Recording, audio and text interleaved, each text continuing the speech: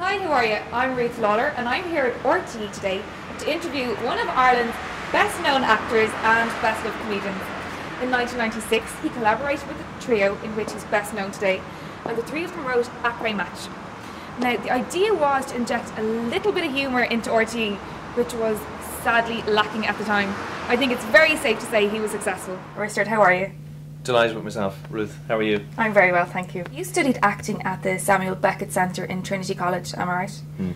And then you went on to study acting in New York. Was it perhaps um, a certain teacher that you may have had, or a friend, Barry Murphy, on a certain school trip to France that inspired you to go into the entertainment business? My mother was involved in uh, in music. She was a she was a singer, and she met my dad actually in the RTE Singers, and my dad is a singer as well. So um, I was brought up with music and performance, I suppose, as being a very sort of normal thing, which of course we all know it's not. it's very abnormal. Um, but uh, yeah, so I was always kind of singing and performing, and uh, I suppose always getting used to um, uh, sounds of things, and I was always good at repeating sounds of things, which is, I suppose, why I would be um, good at doing voices and, and, that kind of thing. So um, I, I, was in a school uh, performance of uh, an opera called Amahl and the Night Visitors, which was actually my mother's school when I was nine. And um, and I suppose she, to answer your question, she was the inspiration behind me getting up on the stage. Okay, so then after Trinity, you went on to New York. Was a lack of opportunities here in Ireland, or um, was it to further your studies that drove you away from us?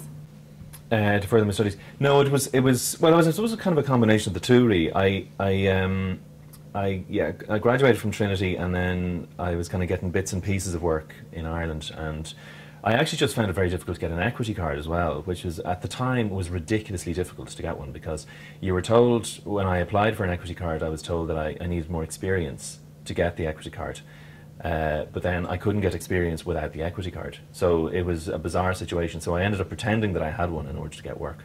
Okay. And uh, so I lied.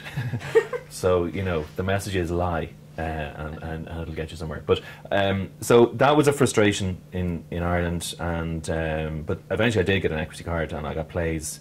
Uh, I got parts in, in plays in, in the Abbey and uh, that kind of thing. And I didn't particularly sort of enjoy the atmosphere in the Abbey at the time and uh, it seemed to me like you know part of my I suppose training in in Trinity was to view working in professional theatre as the ultimate, the pinnacle, and uh, I suppose the National Theatre, the Abbey, uh, would definitely be that pinnacle in Ireland, and it just seemed to be a little bit of an anticlimax. So.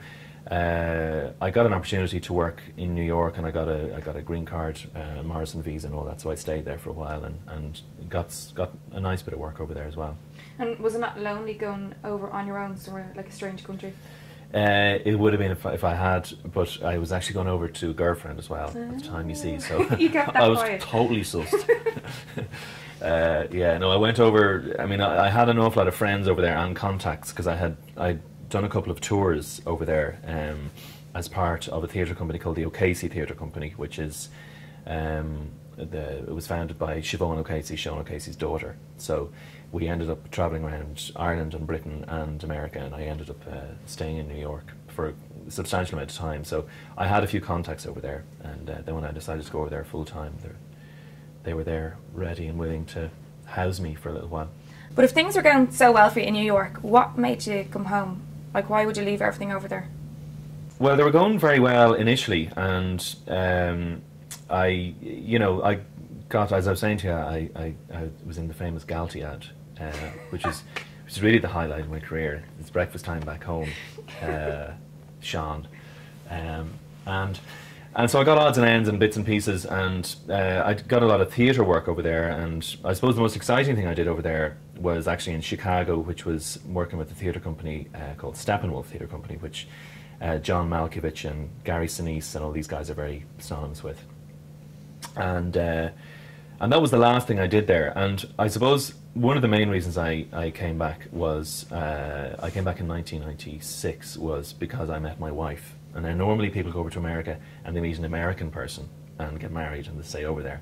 But I went over to America and I met an Irish person, and uh, I came back and uh, there was kind of there was I suppose that was a, a decision that I made that um, uh, it was probably time to time to head back home. So, given your Galtee debut, when you returned to Ireland, did you find there were a lot more opportunities for you, a lot more doors opening? Yeah, it was. I mean, when I came back in 19, 19, 1996, uh, Barry Murphy and myself, uh, who is uh, another third of Après Match, um, we had been sort of working on bits and pieces together, and, and essentially, like we were sitting in a room, uh, uh, two uh, bored people, and we made each other laugh, and uh, it's that was sort of the, the beginning of Après Match, and, and we, we would go to pubs and watch soccer matches, and before we knew it, we were kind of uh, a lot of people were listening to us as opposed to the commentary. Um, so we thought we'd extend that further and uh, make something of it. So um,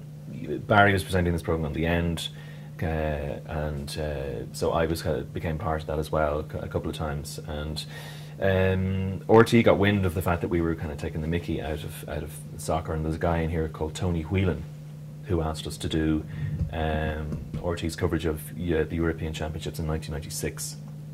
So we did that, and um, everything kind of snowballed with that very much from there. Really. And tell me, how would you research your characters? I mean, just sit down and interview them, or would you watch live footage of them, or any footage at all?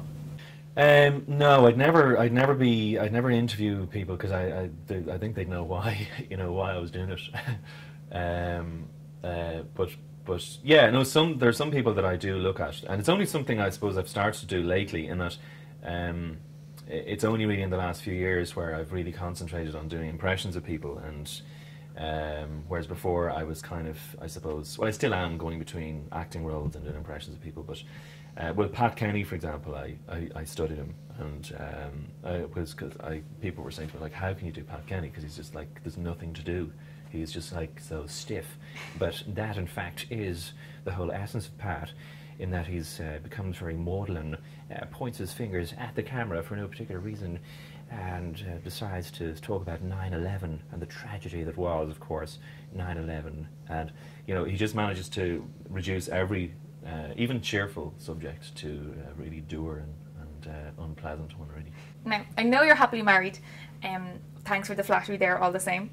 But, and I'm not saying that you argue with your wife, but if you were in the middle of an argument with any past girlfriends or wives or wife, would you start doing an impression of them in the middle of the argument just to annoy them a bit more?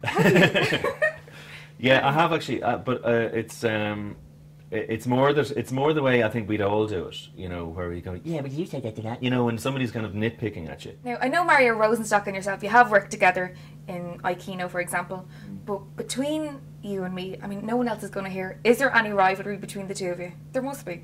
No, not really. I mean, uh, I mean, of course there is to a, to a degree. I mean, we're we're uh, we're in the same business, and and uh, we we both do impressions of, of people and all that. But um, it's very friendly rivalry, and I mean, I, I would be um, I would be the first, as I have done on occasion, to ring to ring or, or leave him a text saying that uh, a particular sketch was was really good. Like I thought his his version of um, it was the Mourinho song, actually, uh, the first one he did about uh, uh, Technicolor Dreamcoat. It was the it was the um, I can't remember what the name of the song was, but it was in his first impression of Mourinho, and it was really really good. And so I texted him to say that, and he texted me as well to say, you know, that was great or whatever. Um, but um, yeah, I mean, I suppose there's uh, we we it's a it's a friendly rivalry. I'm in fact I'm meeting him for a pint on, on Thursday. So really, yeah. So would you, would you, would you would you prefer if there was a kind of a, a hatred there? Kind of, a bit juicier. Um, Uh, no, could you do an impression of him maybe, and we could just stir up a bit of you know rivalry? Well, he's very loud. I don't know if you've ever actually met him in in, uh, in like Mario, what he's really like. But he's, he's actually really loud. He goes into places, talks really, really loudly all the time. uh, he's not lacking in confidence. That's for sure. Anything else to tell me about him? Um, he's got a very wide bottom. Really? Yeah, it's very wide. Why were you looking? You're married. Well, it, it, there's, it, there's, you can't really avoid it when he's in when you're sharing a dressing room with him.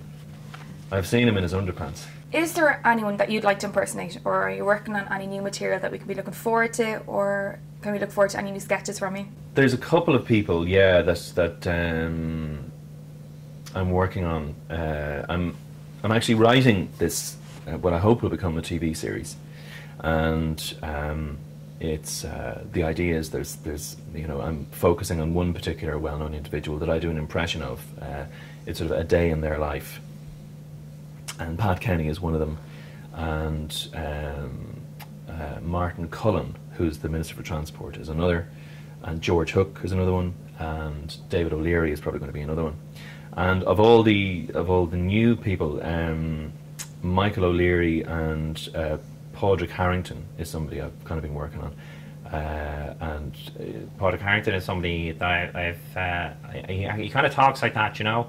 He's um, but he's also so committed to golf that uh, you can't imagine him doing anything else at all. And he had a child actually, uh, I think about a year ago, and I remember him saying that, uh, you know, it, it's great to have a baby, you know, and you'd imagine like he'd be really delighted to have a baby just just for its own sake. But he said it's great to have a baby, you know, and even when I'm holding her in my arms, like it, it doesn't affect my swing you know, which is like the only way he can make it sort of, uh, the only way he can relate to the child is through the fact that it might affect his swing.